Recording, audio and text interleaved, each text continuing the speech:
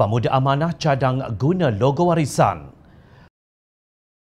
Parti Bersatu Sabah PBS mengumumkan akan bertanding 30 kerusi Dewan Undangan Negeri DUN pada pilihan raya negeri PRN akan datang. Timbalan Presiden PBS Datuk Seri Radin Malih berkata, parti itu dalam proses memuktamadkan senarai akhir calon yang terdiri daripada beberapa muka baharu dan calon wanita.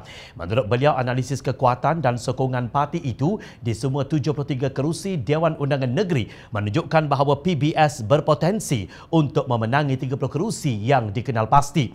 Kami hanya merancang untuk bertanding 30 kerusi kerana kami mahu bersikap wajar, realistik dan praktikal. Katanya dalam satu kenyataan yang dipertik bernama.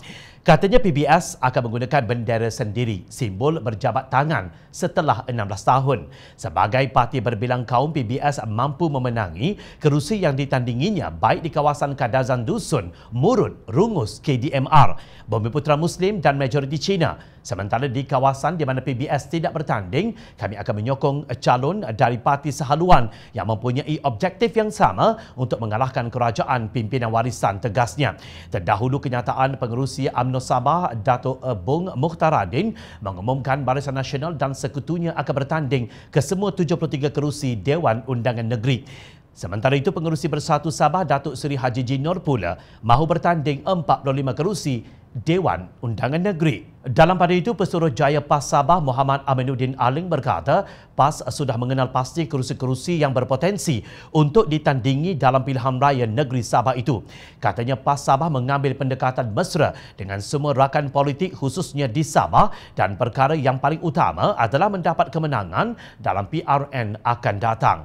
Kami akan terus buktikan semangat setikawan seperti yang telah dibuktikan dalam pilihan raya Parlimen Kimanis sehingga berjaya mencapai kemenangan ujarnya dalam kenyataan di Harakah Daily. Untuk rekod, ketika pilihan raya umum ke-14 PAS bertanding di Sabah 26 kerusi iaitu 8 kerusi Parlimen dan 18 Dewan Undangan Negeri.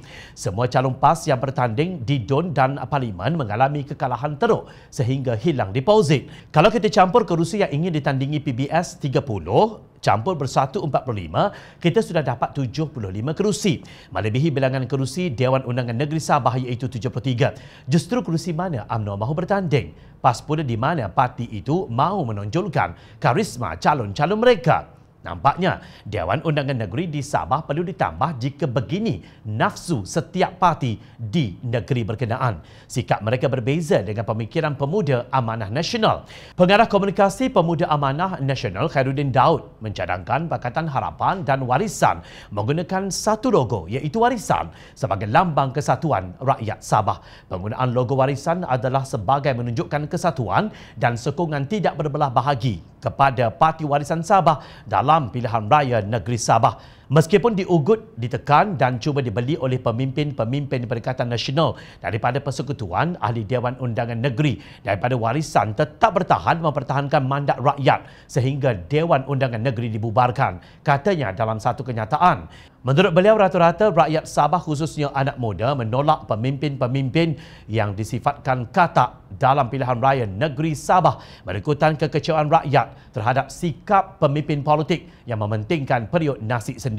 Justru itu Pemuda Amanah Nasional mencadangkan parti-parti dalam Pakatan Harapan serta UBKO menggunakan hanya satu logo iaitu logo warisan sebagai tanda solidariti kita mempertahankan mandat rakyat pada PRU 14 dan menolak pemimpin-pemimpin politik yang tidak berprinsip tegasnya.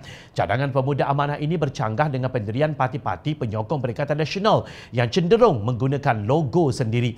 Maka ia wajar dipertimbangkan memandangkan sentimen rakyat Sabah yang nampaknya kurang gemar parti dari Semenanjung seperti AMNO Bersatu dan PAS.